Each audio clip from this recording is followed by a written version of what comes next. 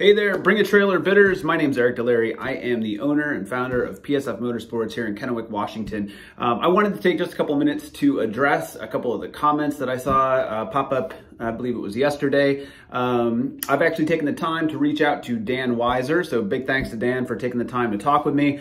Um, I gave him a call just to see uh, what he had for feedback in terms of the comments he left. Um, I appreciate a little bit more insight. So to address a couple of those things, um, you are bidding or looking at a 1995 FZJ80 Toyota Land Cruiser. Um, I did find it at an auction from a dealership that I have purchased from in the past as well. Uh, they are also located in the state of Washington. Um, I have passed along all of the title paperwork to Bring a Trailer, so they have seen it as well.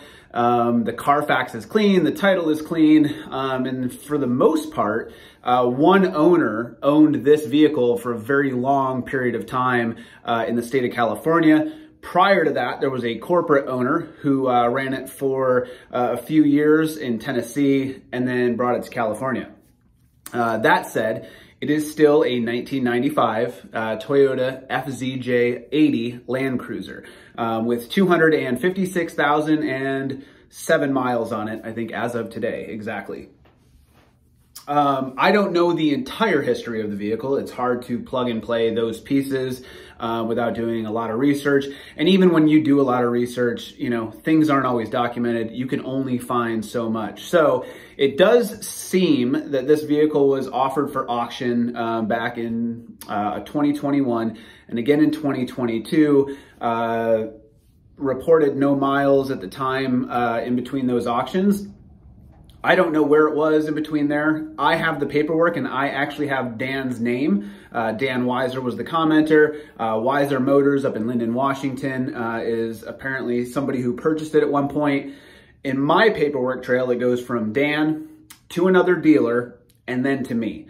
Uh, I don't see any record of Copart. Uh, he did, did make a mention of that in the comments. So whether or not it went through there, you know, I'm not positive. Um, he actually, the way he kind of said it was, he kind of took a look at it and decided they were going to get rid of it. Dan is a huge collector and a big uh, uh fella in the FJ80 world. Um, it's something that he knows a lot about. Now, a little bit of background on me, big off-road enthusiast, uh, big sports car enthusiast, as you can kind of see behind me. Um, I like to modify things, and a lot of what I go for at the auction is things that I like, that I'm into, that I understand, um, and that I like to build. So Jeeps, uh, a lot of Toyota Tacomas, um, Toyota FJs, some of the newer ones, um, but a lot of different Jeep vehicles, Toyota 86, Subarus, um, really anything that I kind of have a history with or a passion for. Now, the FJ80, always thought it was an awesome vehicle. However, fellas like Dan uh, know the ins and outs of the VIN numbers, uh, the, you know, the different, uh, features and options that were on different models at different years. I know enough that I know what to look for. Um, but I wouldn't call myself like a big FJ80 enthusiast. There are, there's so much to dive deep into and I just, I don't have that vast knowledge. What I do know um, is that they're very capable rigs, is that if you can find one that's in really nice shape, um, you know, they can make a really good platform. And if you look at the listing on my website at psfmotorsports.com, one of the things you'll very specifically see is what I detailed in there. And so things like, you know, some of the minor things that may need to be looked at are the brakes at some point, as they're a little soft. Um, I occasionally get kind of this little squeak in the steering wheel when you're turning in, and it's only occasionally. It may just be one of the greasable joints, something like that. Um, and then little things like the head unit's missing, uh, that a CD player was put in it at some point. The head unit for that CD player is missing. Um, so you may need a new stereo in it. Uh, somebody replaced the center console armrest, which makes sense, you know, 256,000 miles and 28 years old. Eventually you get a little wear and tear. I have a 2005 Dodge that has a hole worn in the uh, armrest. So that's been replaced. It's gray instead of the kind of the beige interior that's in there. That's pictured so you can see it. Um, the driver's seat has been replaced by another driver's seat. It may be potentially even out of a newer Land Cruiser or something like that. The tan matches fairly well. It's a really nice seat. It's not the original seat, and then there's some normal wear and tear on the others. By no mean is the interior destroyed. Um, so there was a couple of things. I'm just going to pull them up here real quick so I can make sure that I'm addressing them. And again, I appreciate Dan taking the time to talk with me because him and I did discuss a little bit of this. Um, some things that popped up pretty much right away in the comments after Dan posted this was that um, I think one of the most recent people said that, you know, the engine is toast, uh, blew the motor in the trans. Nothing is blown. And I'm going to take you for a ride here in a minute so you can see. Uh, what Dan said is, is that if it hasn't had the head gasket replaced by 180,000 miles, um, that it usually needs it or the motor, you know, isn't going to run as well as it should. Um, I don't know that the uh, head gasket hasn't been replaced. It quite possibly could have. And if it's got 256,000 on it, there's a good chance that it has been replaced. Now, what we did do and what is noted in the listing is we compression tested all the cylinders. All of those compression tested just fine. Um, it wasn't running great, but as noted, uh, those auctions over those two years in 2021 and 2022, uh, the mileage didn't change between reporting and when I got it. So if the gas sat in the motor for a little while, which the gas in the tank was very low at the time, if that's still the same gas, then it's not gonna be great, it's old. We got rid of that gas, we put new gas in it, and we noticed that the uh, number five cylinder was misfiring a little bit when we looked at it. We pulled the plugs, that plug was the worst of the six, um, we replaced all six spark plugs, we replaced all the wires, we replaced the distributor cap, um, and the thing ran awesome after that. So no issues with any of the firing whatsoever. Um, what I will say is that the thermostat housing was cracked. And so there was a little bit of a leak there and that was pretty obvious right off the bat. So uh, thermostat housing was replaced, as was the thermostat. Obviously that got a new gasket when we put it back on, new hose clamp, hoses, um, and we replaced a couple other hoses in the back that were cracked as well. So all of that stuff's been taken care of. Uh, the thing fires right up and runs great. Now, the brakes, like I said, brakes are a little soft. It still goes down the road and stops and all that. There's an ABS light on and you can see that in the video um, that I shot that is on the listing. Um, you can also see that there's an airbag light. Those are two pretty minor things. Um, May it need brakes? I mean, potentially at some point, if this is gonna be your daily driver or a regular vehicle that you want for the road, there's probably some things that you're gonna need to do to make sure that it is exactly the way you want it. Um, again, 256,000, seven miles on it at this point, and it's 28 years old. Um, for the value of it, you know, if it was something that I went through and restored, it'd probably have a reserve on it. It would be much higher priced, um, but no reserve and uh, really, I saw something that I thought came up at the auction that looked really cool, was in decent shape, um, and it's a California truck. So again, as someone from the East Coast, I look at something like this and think, man, that would be rotted back east. It looks amazing here. There's no rust in it. There's nothing, there's no holes in it. It is really clean in terms of the entire foundation. And so as I mentioned, one of the things that you will see if you go to my website, psfmotorsports.com, um, I wrote a I wrote an overview of the vehicle that's very similar to, I mean, it's exactly what I sent on to Bring a Trailer. They kind of wordsmith that and do their thing with it. And so they have a slightly different version of that. Um, but all the details are there. And one of the things that I say is this is a great platform to begin a full restoration or off-road overland build. Uh, there is absolutely zero rust.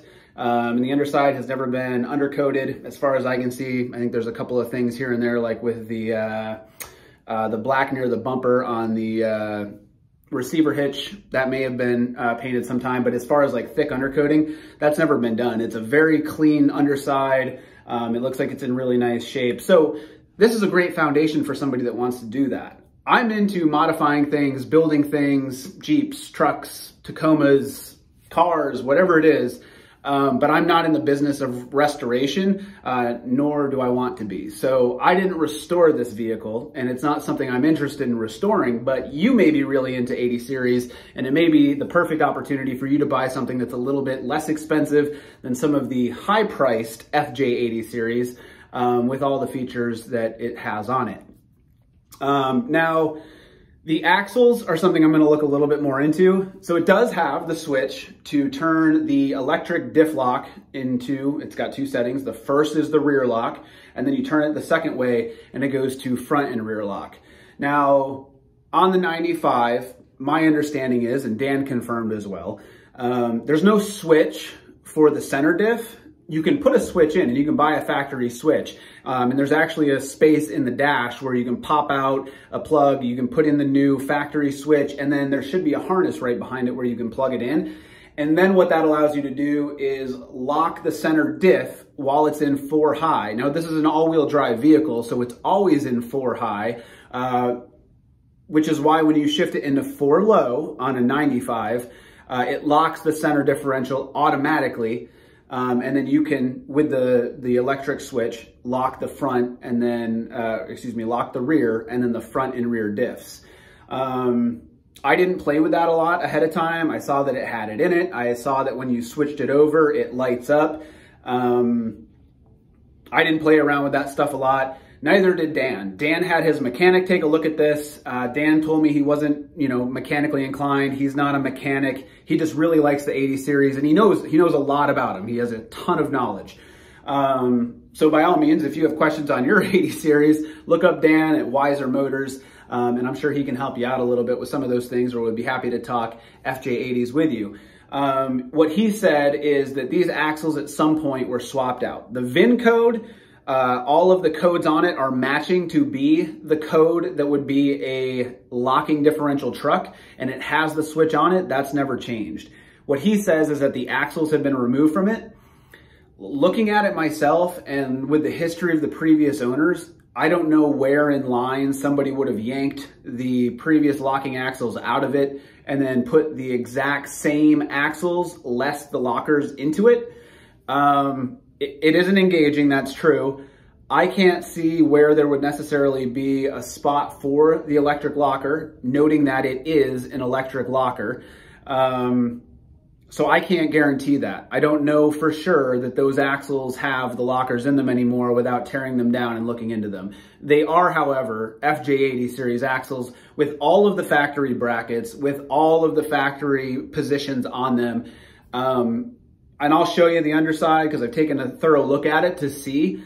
I don't see where uh, there would be a difference in wear between maybe the link bars and the springs and the axle itself, it's really, they look like they've been in there and they haven't gone anywhere.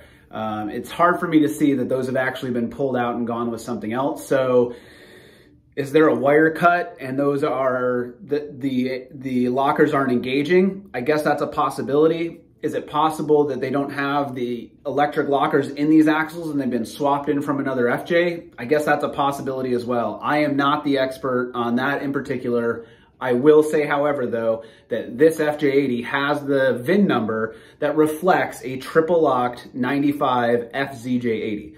Uh, and it does still have the, the switch in it. So I'm just gonna repeat it one more time. Um, this is just a really cool, clean rig. I really liked it. I thought it was something that, you know, the people would appreciate that like FJ Cruisers and it may be a better entry point to doing some of those things for you than a twenty-five or thirty thousand uh, bone stock ninety-five uh, FJ80 or you know whatever year in the FJ80 series. Um, again, as somebody who has no problem tearing the axles out of a Jeep and putting one-ton axles into it or doing LS swaps in vehicles, I'm a big fan of putting new things in rigs and updating them and making them really capable. I know that the FJ80 right out of the box was a very capable rig, um, but to me, this one has a ton of potential. So it's a really cool rig. Um, the interior, that was one of the other things, and I'll just pull this up here real quick. Dan mentioned, I believe, that the interior was just kind of a mess. Um, you know, again, it's an older vehicle, so let's see.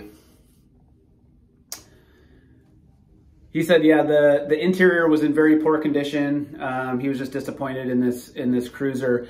You know, if you're a collector of FJ80s, then by all means, this may not be, you know, the cream of the crop for you. You may have much nicer ones. And based on some of the stuff I've seen on Dan's website, he does have very nice FJ80s. So maybe this just wasn't for him. However, uh, we went through and shampooed the entire interior. Again, a 28 year old vehicle at 256,000 miles, it's gonna have dirt and grime. It's gonna have some of those things. It's very well cleaned up. You can see it in all the pictures.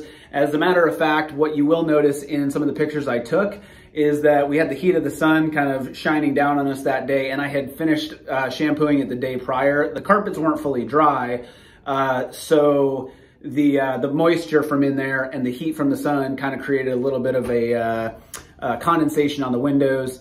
I'll show you that that's not the case anymore. There's not like permanent condensation or anything like that, but uh, that's from actually shampooing the entire interior, cleaning it up. Um, there's nothing else falling off. There's no problems with the interior other than exactly what's been noted. There's no head unit. Uh, the uh, center armrest has been changed over to a gray one without any holes in it.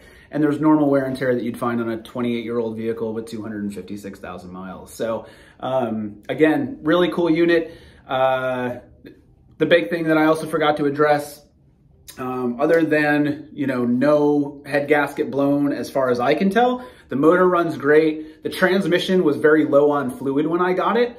Um, Dan said when he tried to move it, it wouldn't move at all. I'm not sure. I wasn't there, so I don't know what that means in that regard. Um, I don't, I wasn't there, so I, I, I, don't know. I don't know what to tell you. And I told him the same thing. Um, but as far as it moving for me, I drove it onto a trailer at an incline. I've driven it down the highway at 60 miles an hour. Um, I'm going to take you guys for a ride in it uh, here shortly. Um, but the transmission works. Um, does it need to be serviced? Potentially. It's got 256,000 miles on it. So uh, potentially an oil change, a filter change in the transmission uh, would be a big help with that. Um, is there something that needs to be serviced that's bigger than that? It, it could be, you know, again, it's a quarter million mile Toyota Land Cruiser um, that's 28 years old. So there may be some other things, and, and obviously that's why it's at no reserve. That's why these things have been uh, put up on the website as well. They're transparent on my website. I think bring a trailer in the way that they narrated it from uh, my website as well um, does a good job at saying that, you know, there's some imperfections here and there. These are, there's things that will need to be taken care of. So, um, full transparency, uh, that's what I'm all about. That's what I try to do in posting this. Again, that's why it's at no reserve.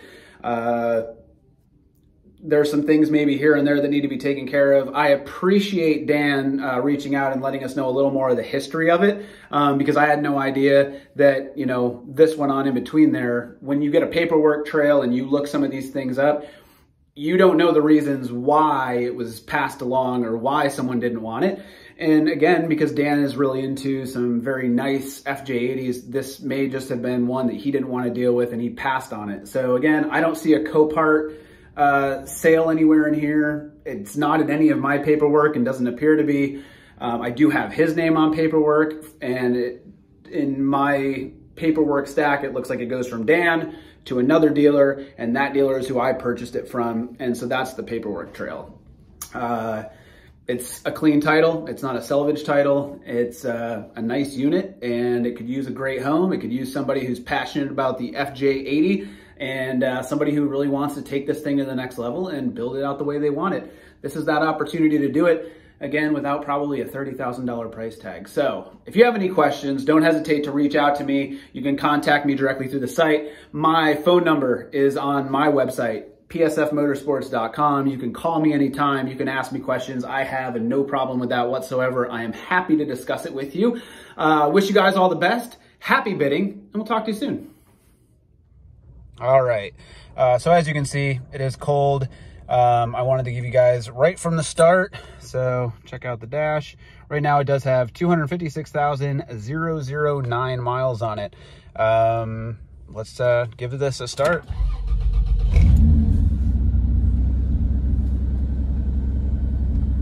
Fires right up. As I mentioned, the ABS light's flashing. There is an airbag light on. You see that in the previous video that I recorded with this. But, uh, shift it into gear. You can hear the engine engage. It shift right into drive. And it goes forward great. First shift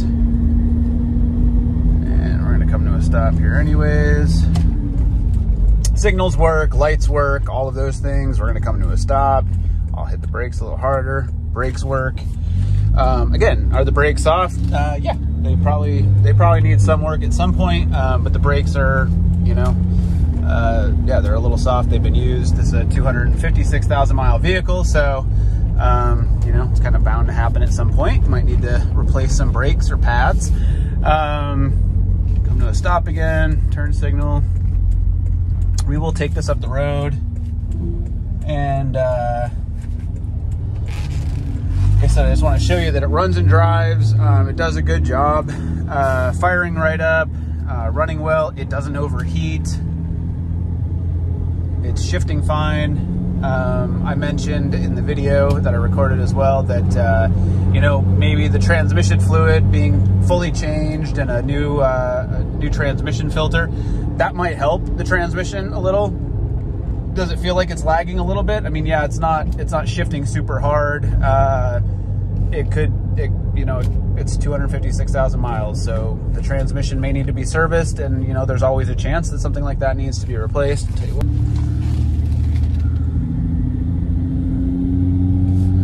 Um, I'm just going to talk to you a little bit about this as well while we're driving. But uh, the head gasket, in our opinion, I had a mechanic look at it. I looked at it. I, I don't think that there's any issue with the head gasket whatsoever. Um, it has been it, it, it, could have been serviced. I, we're not positive. It's not anything I'm aware of. I know that uh, Dan in our comment section mentioned uh, to me when we spoke that if it wasn't serviced by 180,000 miles, uh, usually that created an issue. This has 256 on it, so the chances that, you know, 70,000 miles ago, 80,000 miles ago almost, uh, it was serviced, I mean, it, it's a pretty good possibility. Um, like I've said, what we did find was thermostat housing was cracked, so it got a new thermostat, thermostat housing. Uh, it needed new plugs because it was running a little rough when we got it. Um, I wasn't sure when I got it how long it had sat because my paperwork doesn't show that. It shows a clean title.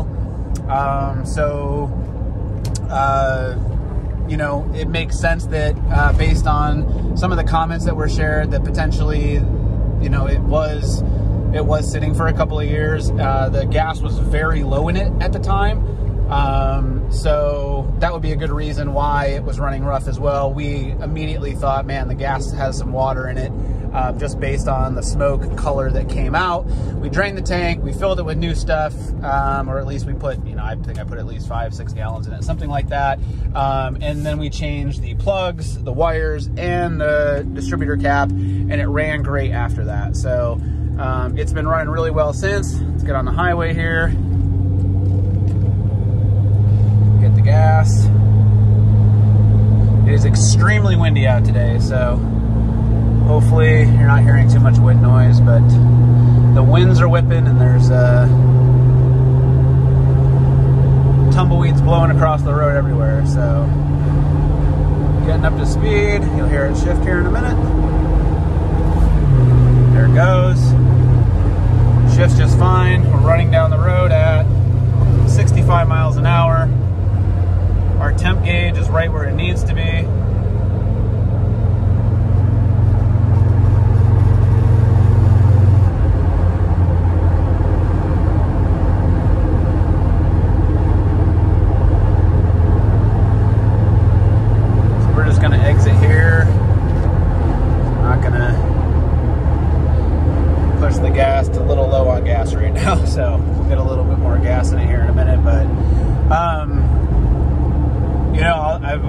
include some pictures of the axles. Uh, I'll include a little video of the thermostat housing and the uh, Again, this is a no reserve auction. Uh, this is an awesome vehicle in great shape um, without costing you, you know, upwards of $20,000, $30,000. I don't believe it's going to bring that at auction, and I don't expect it to bring that necessarily. Uh, I'm not going to discourage everyone, uh, anyone, if you want to, you know, bid on it like that, by all means, go for it. But uh, this is a no reserve auction for that reason. This is a 95 uh, Toyota FZJ80 Land Cruiser. Um, it's, uh, you know, it's, it's in great shape. It's primarily California owned. It was in Tennessee with an owner uh, as a corporate owner before that. Uh, the Carfax is there for it. Um, I've gone through all of those things. Dan mentions in the comments, and again, Dan Weiser, uh, Weiser Motors in Lynden, Washington. If you have questions, you know, feel free to give him a call. But he doesn't know what happened between me owning it and him owning it either. So, um, you know, we both kind of talked about that a little bit, and potentially there's somebody that's done some things to this to help it out before I got it, um, and decided that they didn't want to do it either. Uh, as I I, I mentioned, um, you know, Dan is a big uh, collector of the FJ80 series. Um, he likes it. I got a little speed bump here, so um, he likes these a lot. Uh, you know, I I like them a lot, but I'm not a big you know collector of them by any means. This is uh, I think I've owned one others of these in my past, and it was a rust box because I'm from the Northeast and uh, it wasn't in great shape. So to me, this one is an awesome uh, California rig. Uh, it's super clean. Uh, there's touches here and there in the interior. Again, I've mentioned those things. Listen to the entire video, look through the photos. There are little things here and there, you know? Like I said, head unit's missing. Um, things like that. The seats are a little bit worn. This driver seat is actually out of something else, so it's in really nice shape. But yeah, it's not the original seat to it. Um, little trim piece missing over here by the mirror. Um, let's see, what else? Uh, the, the rear latch, as, as noted, it doesn't open from the rear, uh, from the exterior, excuse me, um, but it does open from the inside. There's going to be little things you need to do here and there. If you want this to be like your everyday driver to and from work and be reliable and drive hundreds of miles in it or, you know, 12,000 miles a year, whatever the national average is, it's going to probably take you a little bit to make sure that you want to drive this thing every single day all the time. If you're just running around town, um, or like I said, this is a great foundation for a build. You want to turn this into your adventure rig, your off-road rig, uh, or you're really into restoration and want to bring this thing back to its original glory, this is probably a great starting point without spending $30,000 on uh, the base platform. So uh, super nice unit. Uh, some things here and there that you'd want to do. Again, really big thanks to Dan for kind of bringing some of that stuff to my attention and filling in the gaps because, you know, paperwork only does so much. You can only find so many things without actually hearing from a previous owner uh, what, what might have gone on with it. So, um, really nice rig. If you have questions, like I said, by all means, give us a call. Feel free. You're, you're going to get a hold of me if you uh, go to psfmotorsports.com. You can reach me at 509 579 6917. Um, I will note here, real quick, we'll put it in park. Uh, there is no button on this. So that was one of the things I mentioned to Dan as well. Um, from my understanding, and I believe Dan agreed with me on this, is that if it's triple locked, which it is, and the door tag suggests that this always was, uh, there's no button necessarily. This is where the button would go. There's no button to make it triple locked on your own to manually do that. Um, but rather, what you do, put this in neutral, you pull this back into four low, and then you would typically see that pop up on the screen. Now, I, I, you're right. I don't see any light pop up up there for that, so I don't know whether or not it's in.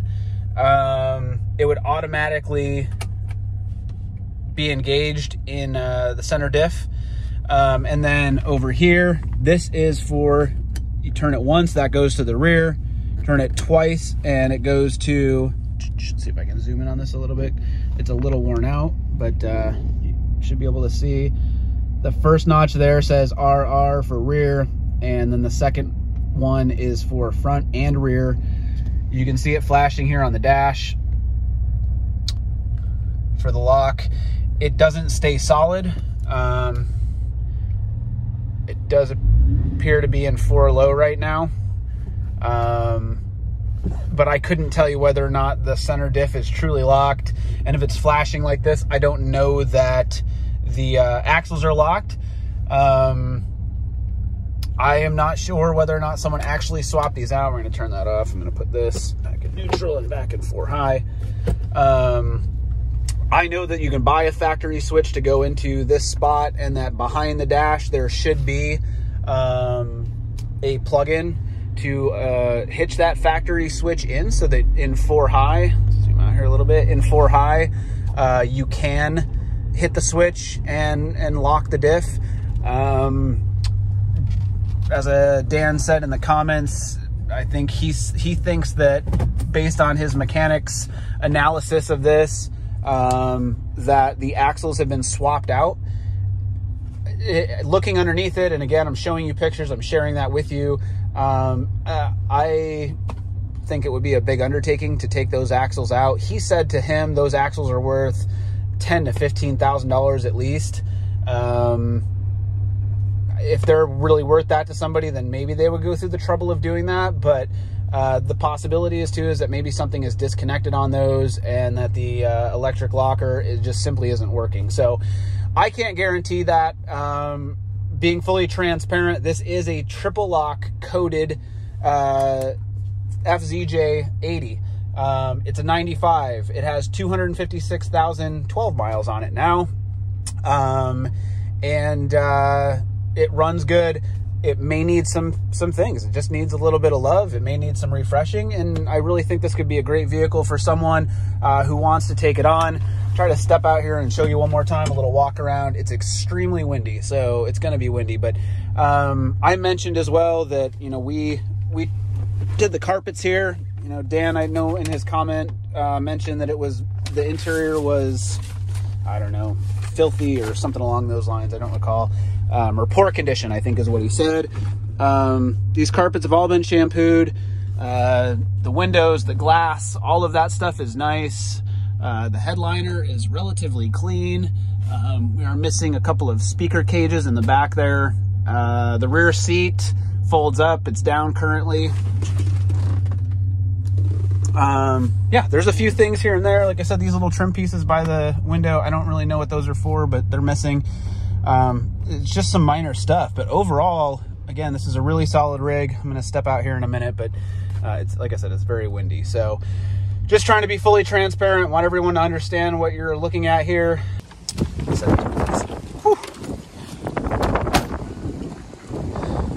So we spent a little bit of time cleaning up the paint. It was painted under previous ownership. Um, I took off the side steps. I didn't love the way they looked on there. Thought it looked better without it, personally. Um, but has been repainted. Uh, we kind of went through and buffed it and touched some of the spots up. Um, and it's very. So this is it. Uh, really nice, really clean. FZJ80 in good condition, ready for a new home. If you have questions, by all means, give me a ring, let me know. I'm trying to be as transparent as possible. I thank Dan for bringing some of these things to my attention. It's a big help to know uh, some of the history of a vehicle, you, like I said, I, I, think I've already said this in the video numerous times, but, uh, you know, the paper trail doesn't always tell the story. So you can track things down as much as possible, but it doesn't give you the full amount of info. And while Dan's comments are specific to him, he also doesn't have all of the information on this rig. Um, so I've driven you around in it. I've showed it to you fully transparent. You know, again, it's a 95 FZJ80. It's got 256,012 miles on it now. Um, it runs, it drives. It's it's a great vehicle. It's ready for you. Don't hesitate.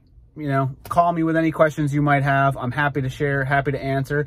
And if you need anything else for videos, photos, or anything else, let me know. Talk to you soon. Thanks so much. Actually, one more thing I will note is I wrote that there was a squeak in the steering. And when I first got it, there was this small squeak but I just don't hear it anymore. And what you're hearing is just my hand gripping the steering wheel. But there was occasionally this small squeak that I heard that seemed like it may be coming from one of the joints. Um, what I kind of realized after talking to Dan too is maybe this thing has sat for a little longer than I thought it did. And maybe with me driving it and getting it out, which we have, and uh, resolving some of the issues with it, we've just used it a little bit more and uh, gotten the things back up to snuff that, you know, maybe I thought uh, might need to be addressed. So the steering squeak, I don't hear it anymore. I thought maybe it was like the clevis uh, in the steering column itself, the uh, the component that runs the steering shaft, uh, the point that runs to the steering box. I thought potentially there was just like a greasable joint in there that may need to be addressed, um, but I don't hear it anymore. No matter what I do, I don't get a squeak in the steering.